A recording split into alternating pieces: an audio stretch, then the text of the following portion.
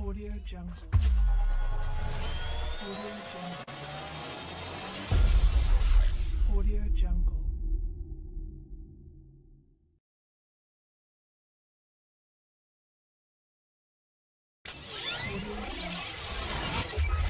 Audio Jungle. بدت وكأنها ممنهجة طيلة السنوات سنوات اعتقالي من يتحمل آه، آه، يعني عملية القتل؟ على من تقع مسؤولية آه، وفاة الدكتور محمد مرسي بهذا الشكل من وجهة نظرك؟ أنا أريد أن أذكر مرة أخرى أن قتل تحت التعذيب. يعني ليست عملية قتل فقط وإنما هي عملية قتل تحت التعذيب. يتحمل بطبيعة الحال السلطة السياسية لأنه في آخر المطاف السلطة القضائية كلنا نعلم أنها مجرد يعني أداة ولو أن هي نفسها أيضا تتحمل المسؤولية. أجهزة الأمن هي أداة الذي يتحمل ال- هذا ال- يعني العبء السياسي مباشرة هو هرم السلطة الذي أمر بهذه الموبقة. يا وأنا أستغرب يعني يعني يا رسول الله إلى هذا الحد وصل الحقد بهذا الشخص بهذا السيسي ضد الرئيس محمد مرسي إلى هذه الدرجة وصل به الحقد. يعني شيء شيء غريب. يعني لا نفس إنساني ولا الحد الأدنى من الشهامة ولا الحد الأدنى من الرجولة الحد الأدنى من من العفة الحد الأدنى من التعفف. أنا شخصيا لا أستطيع أن أفهم لا أستطيع أن أدخل هذه العقول المريضة. يعني كيف يمكن لإنسان يعني آه، كان معك وجلس معك وكان رئيسك وهو الذي أقسمت أمامه؟ كيف يمكن ان يعني ان يصل الحقد والبغض والكره أو اللامسؤوليه أو اللا إنسانية أو اللا شعور إلى هذه الدرجة؟ اننا نترك هذا الرجل يموت تحت التعذيب سنوات وسنوات وأنه ينطفئ شيئا فشيئا. أنا والله يعني آه، رغم أن وصولي هذا العمر ورغم معرفتي بالطبيعة البشرية فأني دائما وابدا أكتشف أنه يعني آه، لا نهاية للشر. الذي يمكن أن يكمن في ال- في في الذات البشرية وخاصة عندما تدخل فيها عملية اللعب بالسلطه يعني. لكن أنا أريد أيضا أن أحمل المسؤولية إلى من يدعمون هذا الشخص ومن يدعمون هذا النظام وخاصة ال- البلدان و- آه، والتي تدعي آه، الدفاع عن حقوق الإنسان. أنا بقدر ما أسجل آه، يعني موقف Amnesty وموقف Human Rights Watch وموقف هذه المؤسسات الغربية العتيدة بقدر ما أنظر يعني بعين الغضب والاستياء لكل هذه الحكومات التي أعتبر أنه ليس من حقها ابتداء من الآن ولو أنها منذ زمن كبير انها من- هنا فصاعدا تتحدث عن الديمقراطية وحقوق الإنسان، ليس لم يعد لها الحق هذه الحكومات التي تدعم السيسي، ليس لها الحق من الآن أن تتحدث عن الديمقراطية وحقوق الإنسان. ه- ه- هذه المفاهيم النبيلة يعني انتهى استعمالها أو خلصت استعمالها من بعض هذه الأنظمة، يعني من جهة تت- تتشدق بهذه الكلمات ومن جهة أخرى تدعم هذا الرجل، نعم. كان بإمكانها أن تقوم بكل الضغط عليه حتى لا يتكرر تكرر هذه المأساة، وأنا أنتظر منها الآن هذه الحكومات إن إن بقي لها الحد الأدنى من ماء الوجه أن تتدخل لدى السلطات السعودية لكي تمنع من جديد قتل العلماء وقتل وقتل النساء إلى آخره، هنا سنرى مربط الفرس، هنا سنحكم عليهم وعلى أيضا ال- الشعوب الغربية أن تحكم على حكامها بهذه العملية، من جهة تبيعون الأسلحة ولا يهمكم القتلى في اليمن وفي سوريا وفي السودان وفي كل مكان. ومن جهة أخرى تعطوننا دروس في حقوق الإنسان والديمقراطية. كفى من هذه هذه هذا النفاق. الشعوب العربية اليوم بقدر ما هي يعني مستعدة للتعامل مع المنظمات الحقوقية الغربية بقدر ما الآن هي تعرف من هم أصدقائها ومن هم أعداء الحقوق الإنسانية والديمقراطية. نعم دكتور وأنت تحدثني الآن يبدو أن التعنت من قبل النظام في مصر مع الدكتور محمد مرسي ليس كان كما كان وهو حيا أيضا وصل إلى آه، هذا التعنت إلى آه، وهو في آه، متوفى وهو ميت لأن السلطات المصرية ترفض أن يدفن في مسقط رأسه ترفض أن تقام له أي جنازة فقط من يحضر عملية الدفن هو عدد من أسرته عدد قليل من أسرته الزوجة وبعض الأبناء المتبقين خارج ال- ال- السجون. كيف ترى حتى هذا الموقف المتعنت في مسألة تسليم الجثمان وعدم إقامة جنازة ودفنه في مكان يحدده الأمن وليس آه، كما ترى آه، ال- الأسرة دكتور؟ هذا منطقي هذا يتواصل في ذلك المنطق مثل ما قلت لك غياب الأريحية غياب الفروسية غياب النبل غياب الشهامة. يعني لا لا, تنتظر من هؤلاء الناس غير مثل هذه التصرفات. يعني آه، آه، هم ليس لهم احترام لا للحي ولا للميت.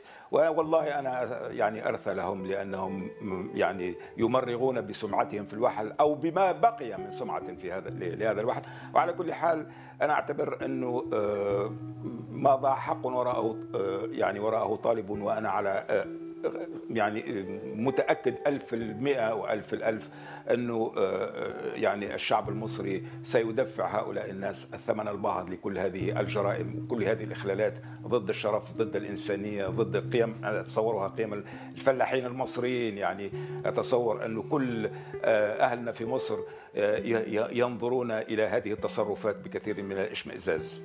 لما كان كل هذا الخوف من رجل أعزل أسير ده يعني في قبضة السلطة في مصر يا دكتور وكل هذا التضييق الذي حدث للرجل والقتل أو الإعدام كما وصفت أنت مسألة الوفاة دكتور.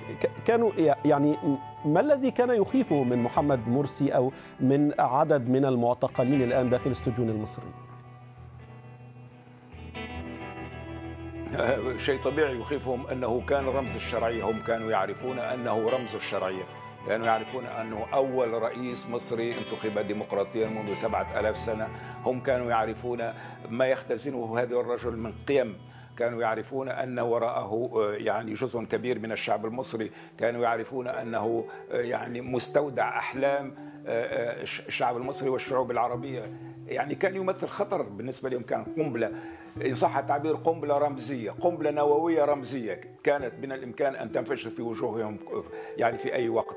وهؤلاء الناس لا يخشون شيئا قدر خشيتهم الرموز قد يخشتهم خشيتهم يعني هذه القوة المعنوية الهائلة لأنهم هم لا يعيشون لا يعرف لا يعرفون ما معنى أن تكون محترما أن تكون مدعوما من شعبك لا يعرفون أن تكون هناك قوة داخلية في ذاتك. وبالتالي فهم اولا يحسدون كل من آه، لهم هذه القوة الداخلية كل من لهم هذا الإشعاع كل من لهم هذا الدعم. وفي نفس الوقت هم أيضا يعني يخافون خوفا كبيرا لأنهم يعرفون في قرارة أنفسهم أنهم مخطئون أنهم يرتكبون الخطيئه وراء الخطيئه وراء الخطيئه وراء الخطيئة. وهم يهربون من من يعني من فكرة أنهم في يوم من الأيام سيحاسبون. لكن هناك قاعدة أنك مهما خفت من شيء فهو قادر أن يلتحق بك بك آه، اجلا أو عاجلا.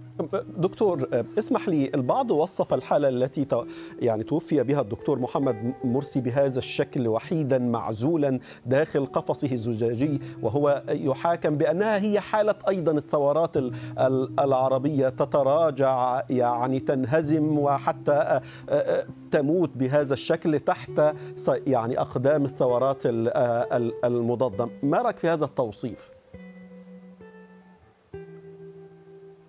لا ابدا. بالعكس أنا أرى أنه آه، يعني الصورة التي سيأخذها المصريين والعرب عن الرئيس محمد مرسي ليست صورة الرجل المهزوم بل بالعكس. هو الرجل الذي وقف وناضل ووقف آه، يعني آه، أمام المحكمة صادعا برأيه ورافعا يديه وبالتالي فهي صورة البطل المناضل الذي يعني ناضل إلى آخر نفس في حياته. هذه هي صورة التي سيأخذها العرب والمسلمون عن محمد مرسي.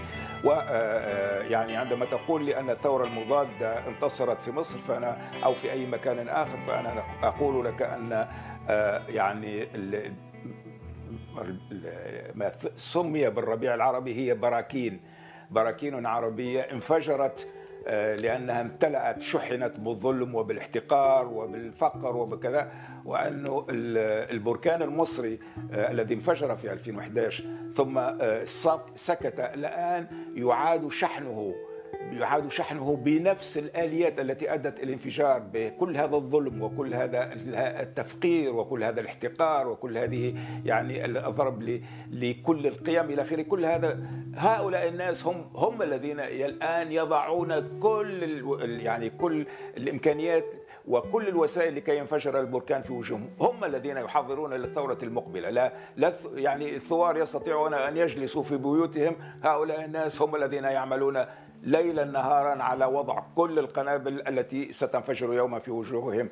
وهذه يعني إشكالية أو كارثة أو مأساة الدكتاتوريين هم أنهم لا يفهمون أنهم هم من يحفرون قبورهم بأظافرهم بأسنانهم هم الذين يلزون الشعوب يدفعون الشعوب إلى الثورات. والدليل على ذلك ما وقع في الجزائر وما وقع في السودان وما سيقع في كل مكان. طالما لم يتعلم الدكتاتوريون العرب أنه لا مستقبل للدكتاتورية في بلداننا وأن عليهم أن أن يتصالحوا حقيقة مع شعوبهم فهم سيلقون مصيرهم إما أنهم سيضطرون إلى الدخول في حروب مع شعوبهم وسيعيشون تحت الحماية الأجنبي وتحت رأية الخوف إلى أن تنفجر الأرض تحت أيدي تحت أرجلهم كما وقع في السودان أو مثل ما قلت لك أن يتصالحوا لكنني أشك أشك كثيرا عندما أرى هذه التصرفات أن لهم هذه المخيلة وهذه القدرة على التفكير في حل كهذا.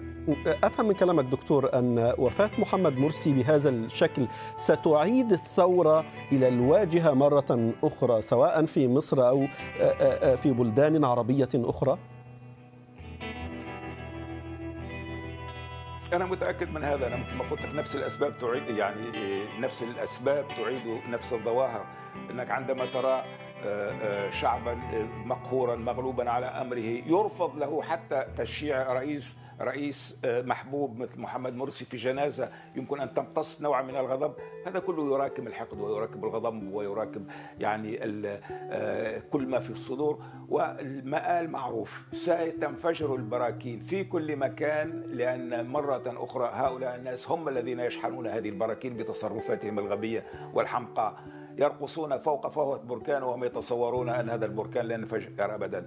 المسألة مسألة وقت. المسألة في أي مكان ليس هل سينفجر البركان هنا أو هناك هو متى؟ ما هو الوقت؟ طال الزمان أو قصر سينفجر. هذه قناعتي وهذا ما يعلمنا إياه التاريخ.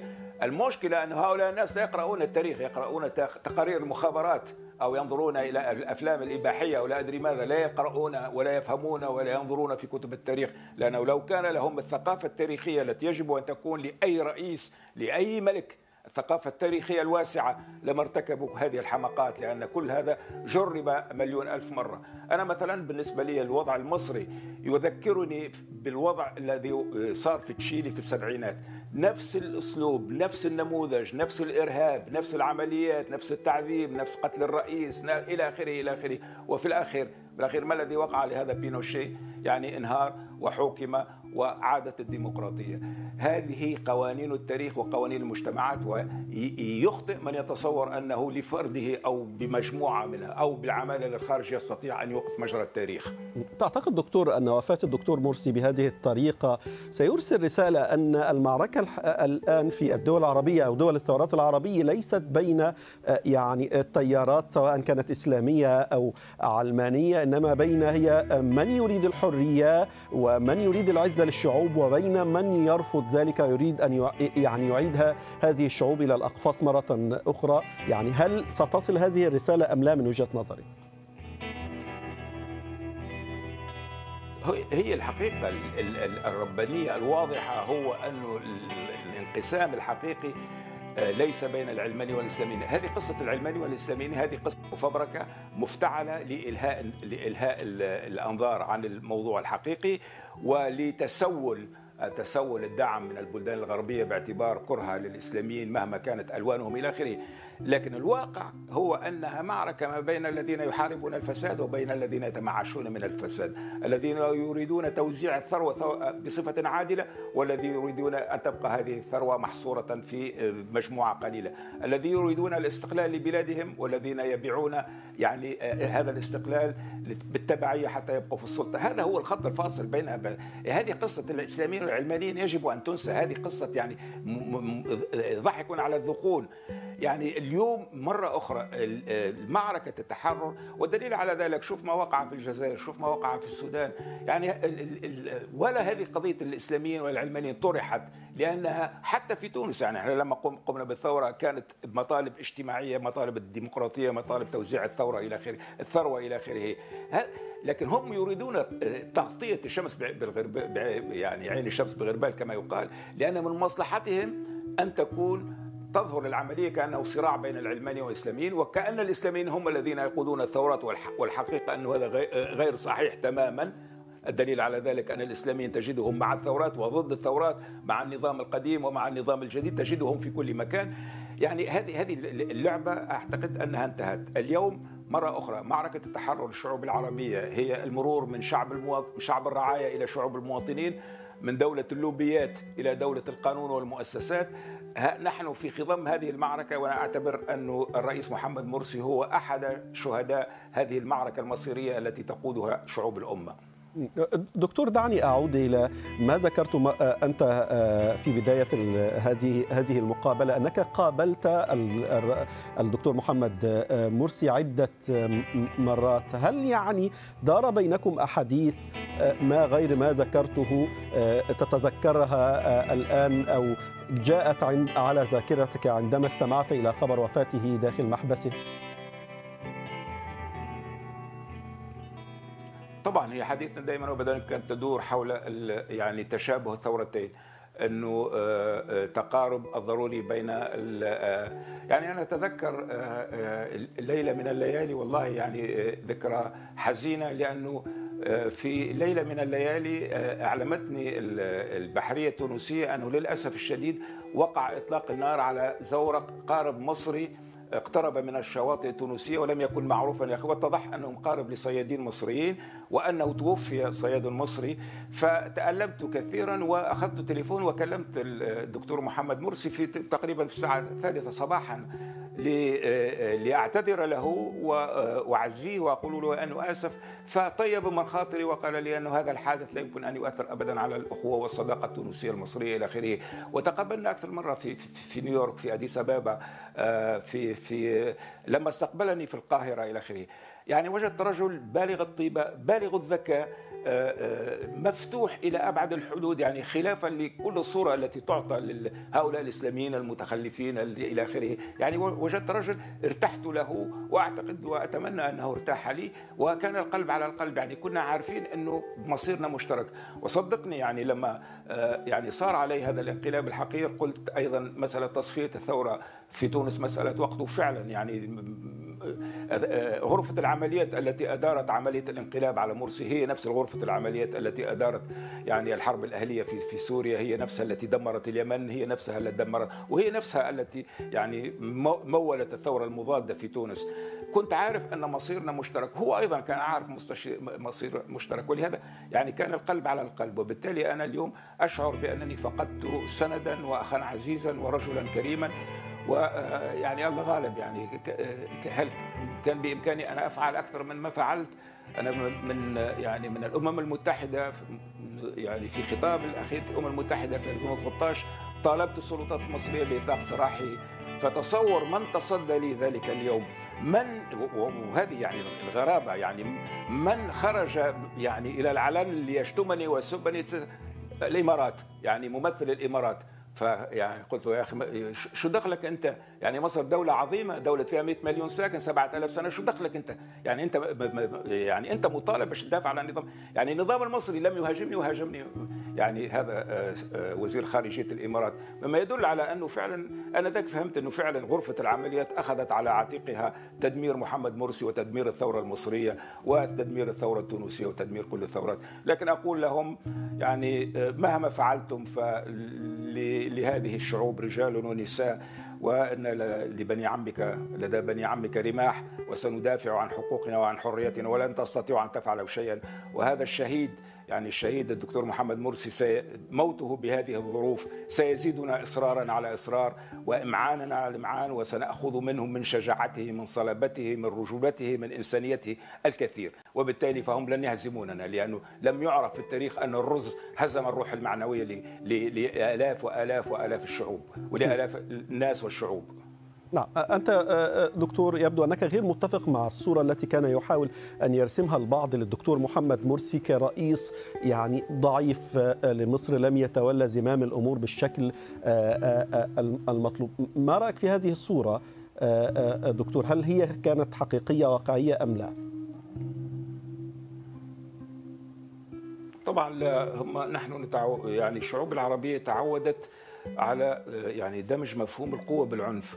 وهذه وهذا مرض مرض في العقل العربي يجب أن نتخلص منه.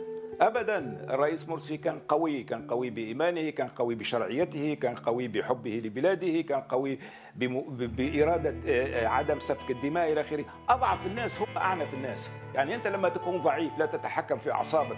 فأسهل حل بالنسبة لك هو ضع الناس في السجون اقتل هذا هم ضعفاء.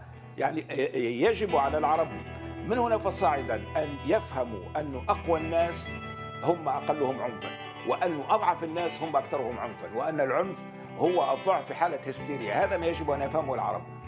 لأنه إلى حد الآن فعلا يعتبرون كل إنسان يحترم القانون ويريد أن يبني المؤسسات ويريد أن يكون كذا يعتبرونه ضعيفا. أنا نفسي أعتبره ضعيفا في تونس لأنني لم أضع الصحفيين في السجن. كان بإمكاني أن أضعهم. عشرات منهم في السجن ولا أفعل ذلك.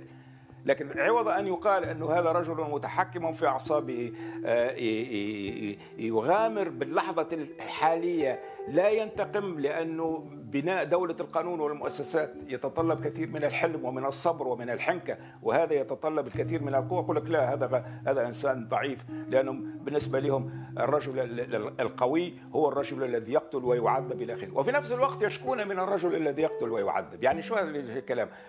هناك مرض داخل التفكير العربي يجب أن ينتهي.